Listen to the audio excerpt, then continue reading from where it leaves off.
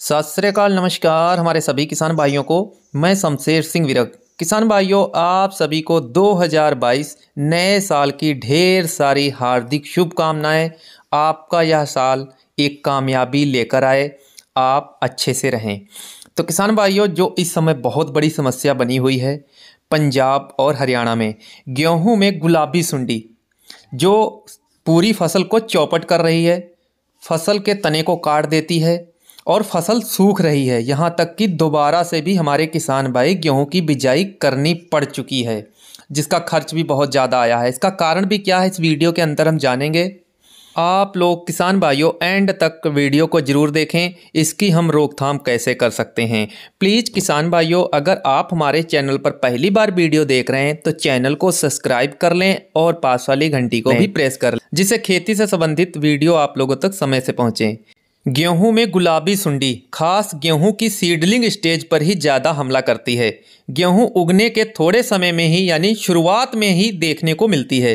तने की गुलाबी सुंडी जिसको हम पिंक स्टेम बोरर के नाम से जानते हैं जो फ़सल किसान भाइयों हम लोगों ने बुआई अगेती की थी अक्टूबर तो में। उनमें ज़्यादा समस्या आई है यानी धान कटाई करने के बाद जो पुआल या पराली जिन खेतों में ज़्यादा है उन स्थानों पर भी यह सुंडी ज़्यादा हमला करती दिख रही है।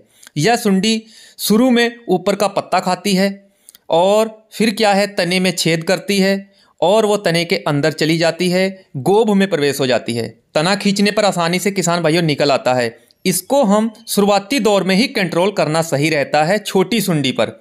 आसानी से ख़त्म हो जाएगी। निरीक्षण करते रहें खेत में। दिखने पर पौधे सूखे नज़र आएँगे। देखेंगे कि पौधे का पत्ता भी सूखा नज़र आएगा। और छोटे छोटे छेद होंगे। बड़ी सुंडी होने पर यह लगभग किसान भाइयों, जनवरी फरवरी में भी तेज़ी से हमला कर देगी आपकी फ़सल पे, जब बालियाँ बाहर निकल आएँगी। उस समय बालियाँ भी सूख जाएँगी। किसान भाइयों, जैसे कि जो गुलाबी सुंडी वास्तव में धान की गोब की ही सुंडी है, जो अनुकूल मौसम और बढ़िया खुराक मिलने पर एकदम बढ़ गई और इसमें गेहूँ पर हमला कर दिया है। ये सुंडी है जो, इसका प्यूपा है, पराली वाले खेत में सुरक्षित पड़ा था।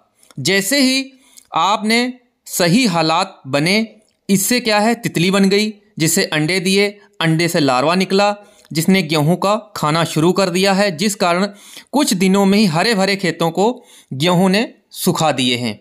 तो किसान भाइयों, बहुत बड़ी समस्या आई है। जो हमारे कृषि वैज्ञानिक थे, उन्होंने बताया, राय दी कि पराली को खेत के अंदर ही मिक्स करें। अब उसका रिज़ल्ट देखिए आप लोगों के सामने आया है। जो फ़सल अवशेष थे, अच्छे तरीके से नष्ट नहीं हो पाए थे और सुंडी ने उसी में जन्म ले लिया है। बहुत बड़ा नुकसान किसान भाइयों की यह सुंडी कर रही है। यानी हम पराली को सही तरीके से मैनेज नहीं कर पाए। ये इसी का रिज़ल्ट है किसान भाइयों। अब इसको हम लोग कंट्रोल कैसे करना है, आप लोग किसान भाइयों नोट कर सकते हैं, स्प्रे करें। अगर आपने सिंचाई भी करनी है तो दिन के समय में करें। जो सुंडी होगी वो पानी पे आएगी और पक्षी वगैरह उसको खा जाएँगे। स्प्रे के माध्यम से इस सुंडी को ख़त्म करने के लिए किसान भाइयों जो दवा लेनी है क्यूनाल फास्ट 25 परसेंट ईसी की। मात्रा रहेगी 8 एम प्रति लीटर यानी एक एकड़ में 100 लीटर पानी आपका लगेगा और अच्छे तरीके से स्प्रे कर दें आपको रिज़ल्ट अच्छा मिलेगा। इस बार सुंडी का हमला उन्हीं खेतों में ज़्यादा हुआ है। कपास वाले खेत थे पहले के या धान के खेत थे पराली को सही तरीके से प्रबंधन नहीं किया गया था। अगली बार ज़रूर किसान भाइयों ध्यान रखें।